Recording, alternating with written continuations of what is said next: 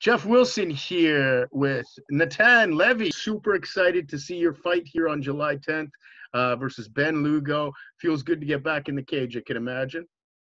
Yeah, it feels great. I can't wait.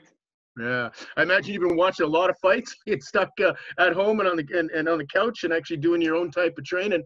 Um, talk to me a little bit about some of the UFC fights that are coming up. Well, one I'm interested in, and I can't figure out who's going to win, is uh, Stipe versus uh, Cormier.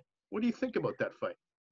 I think Cormier and Stipe are come from a very different background. They have a very uh, different amount of time they put into the sport. I think Stipe is a great athlete, but he's also a fireman.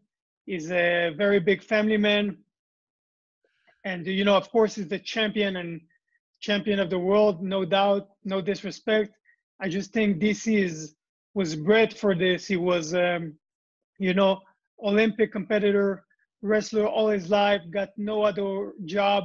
The only job he has is commentating, which is watching fights and breaking them down, which can't hurt you really. And um, I really think Cormier um, got him in the in the first fight. In the second fight, you know that body shot. It was basically one big mistake, but it was one mistake that uh, brought him down. I think he's gonna hide his ego a little bit, not try and uh, strike so much. I know wrestling will get you tired, but uh, this is probably his last fight. Put on a hell of a camp, get ready to wrestle because you're going to take Stipe down if you want to win. Uh, certainly, he's got to cover his body. And I think without any big, uh, without major events, DC should win and retire.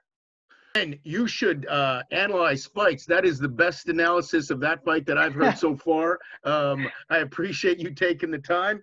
Uh, Natan Levy, good luck uh, next Friday. And thanks so much uh, for being on MMAI.